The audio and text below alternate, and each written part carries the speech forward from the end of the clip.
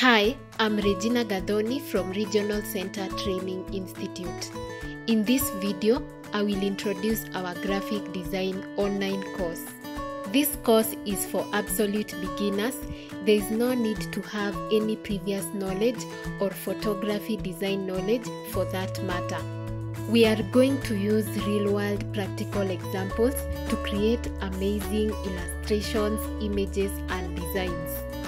Students who will successfully complete this course will be able to create visual communication and aesthetic expression of concepts and ideas using graphic elements and tools.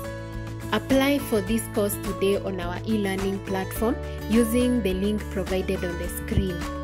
For more information, contact us through our mobile numbers or email us at rcti at rcmrd.org.